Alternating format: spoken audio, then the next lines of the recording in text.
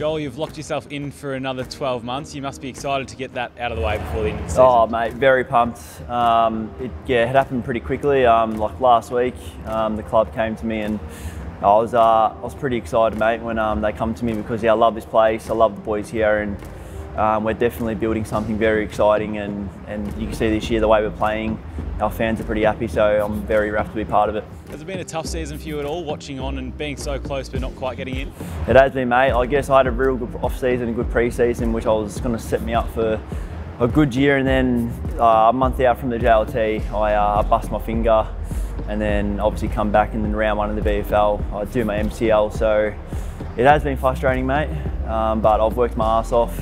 I said to the surgeon, I asked the surgeon when I did my knee, what's the quickest quickest way to get myself back? And he said surgery, and I'll probably get back in eight weeks. And I said done, and I uh, I ticked that off. And then ever since then, mate, it's all been about getting back into the team. Goody talks a lot about the whole club being important, not just the 22 out on the field. Have you felt really a part of it this year? Yeah, definitely. Goody Goody um, drives that heavily. That he it's it's a 44 um, player club, and everyone has a, has a, role to play in in this club. And no matter if you're not in the team or you are in the team, um, he always goes back to it. All the boys in the VFL, scratch matches, emergency subs, everyone's playing a role, and it's making the team better.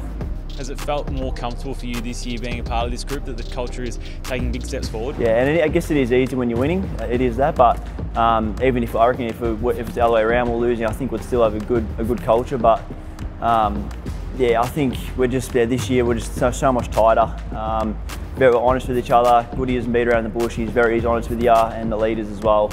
Um, so yeah, it's, it's, it's very it's a good good club to be part of right now. Well, great to have you on board for another year. Thanks for your time, mate. Uh, thanks, Benny.